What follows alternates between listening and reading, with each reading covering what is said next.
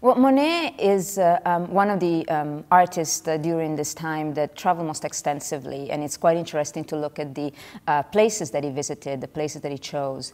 Uh, the south of France is, I think, particularly interesting, uh, as this is a place uh, visually that was unlike anyone, any, any place that he had experienced. Um, his first journey to the south of France, and in fact to the Italian Riviera, happened in December 1883. he was certainly exhausted from a big um, commission he received from Durand-Ruel that he completed in the fall of 1883. And so he took a trip uh, with Renoir. It was really um, just a um, sort of a touristic trip, a way to, to explore the area, uh, area uh, clearly to find new motif. Uh, this was something that recurs throughout his life, this, this eagerness to, to find new motif, to find new uh, imagery for his paintings. And he was quite taken. They went to uh, Bordighera on the Italian Riviera and then stopped in the south of France. and in fact, about the Italian Riviera later on, he wrote about Bordighera, he wrote that it was one of the most beautiful places he visited uh, when he was there. So um, it makes sense that actually when he came back to France uh, in January of 1884, he departs right away to go back to, to Bordighera and to the south. Uh, this time, uh, quite, uh, quite interestingly, writes to his dealer Durand-Ruel and make a point of saying, don't tell anybody though, because he wanted to work alone. Um, he specifically said, don't tell Renoir, because he went with him and he probably would have liked to go back with Monet, but Monet worked at best when he was alone, when he could immerse himself in nature.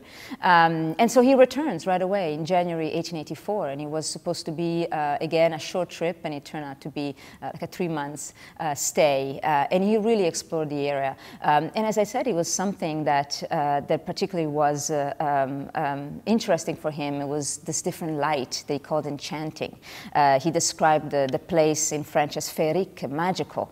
Um, so this really for somebody so used to the Normandy coast, to the, the grayer tones um, of that area, uh, exploring the sun and the vegetation so unique of that, uh, of, of that place must have been quite an impression.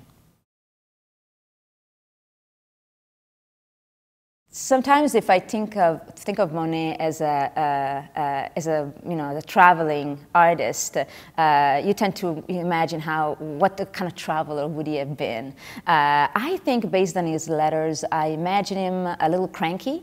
Uh, he was very used to his habits. He was very um, sort of attached to his uh, to his routine. Um, and if I think of the first trip he took to the south in 1884, only the year before he began renting in 18 his house in Giverny. That's the house eventually he would buy in 1890. So I'm sure he was eager to, to, to plan the garden, to explore uh, his home, to sort of uh, uh, establish his life uh, in, his, in his new house that he had uh, rented. Uh, and he was a family man, so he liked to be next to his families. So I expect that he was a little punctilious as far as sort of leaving the, the routine of his home. At the same time, though, no artist uh, of his circle, no other impressionist traveled so much. And he, uh, he never was faced by harsh weather, by um, uh, painting in the snow, by uh, painting in the heat of, of the south.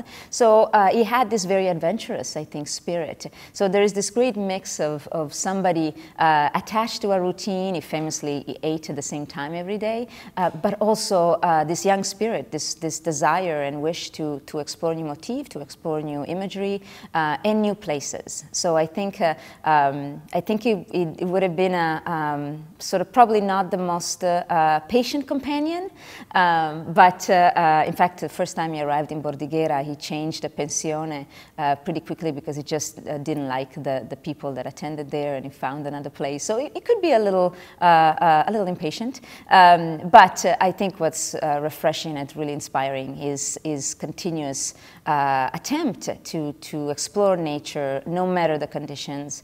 Um, so it, it, made it, it made him, I think, very adventurous and, and uh, willing to try new things.